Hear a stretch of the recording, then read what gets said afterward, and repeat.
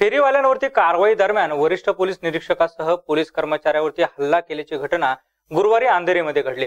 त्यानंतर फेरीवाल्यांकडून चुकीचे video viral करत पोलिसांची प्रतिमा मलिन करण्याचाही प्रयत्न करण्यात आला. या प्रकरणी डीएन नगर पोलिसांनी काही फेरीवाल्यांविरोधामध्ये गुन्हा दाखल केलाय.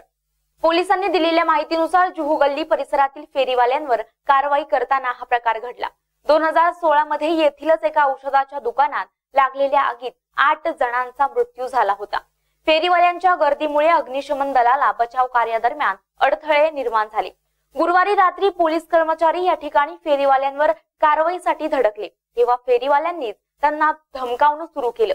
काही जण धक्काबुक्कीवर उतरले. घटनेची माहिती डीएन नगर पोलिसांना मिळताच तेही तेथे पोहोचले.